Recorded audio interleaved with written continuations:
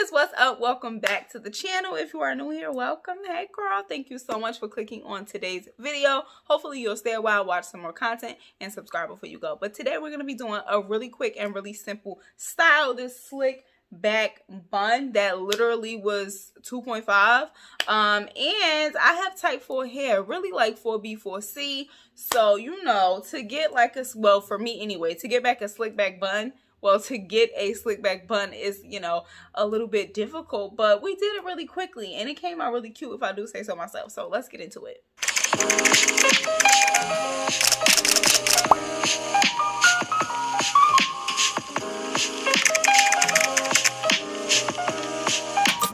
Okay, so I use the Handy Dandy Wetline Extreme Gel, a little bit of edge control. I used some mousse too, but I didn't show you. I used my magical brush, like I told y'all this brush is just so good.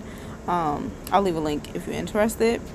And I used a bunch of hair ties. So my hair was literally, I had literally just rinsed out my um, conditioner and just threw some leave-in in.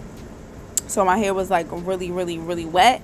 And I find or I found that like it's best to do it this way for me and let it set overnight um, because that's when I get it like the sleekest with like minimal flyaways. So I'm just sectioning off like the lower half and then I'm going to detangle because that's like really important. Like I said, this brush is magical. I literally am obsessed with this brush.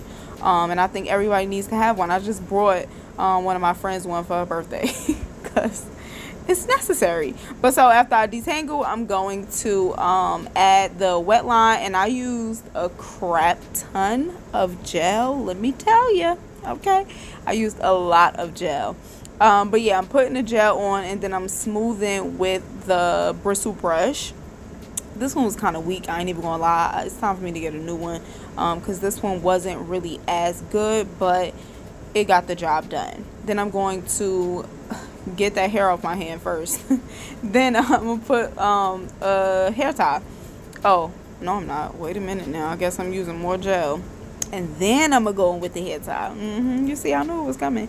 Um, but yeah, then I'm going with the hair tie, and I'm literally just gonna repeat that throughout my whole head. I'll talk you through like one more section, and then I'll just let you watch because it's really simple but yeah first i'm going to detangle. I sectioned off like another area. And honestly i probably should have made that two sections but i was just like you know trying to cut corners you know trying to speed through. But um yeah i detangled with the magical brush and then added some gel a lot of gel added a lot of gel and then um smoothed it out with my WAC bristle brush that I need to replace. Um, and then went over um, with the hair tie. Like I didn't want to take that one out and then re-put it back on. So I literally just added one on top of the other one because I don't have time. And I didn't want to like mess it up. So, you know, it is what it is. Now, I'm going to let you just watch the rest because it's pretty self-explanatory. After this, I'm literally just going to keep repeating the same steps until I get it all sleep. Did you get ready in the dark or something? Cause you look like a beautiful nightmare.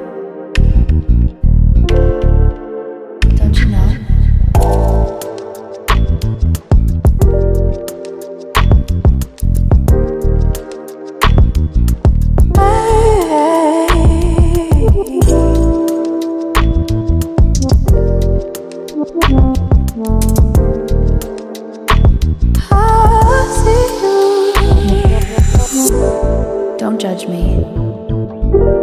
I just wish he knew.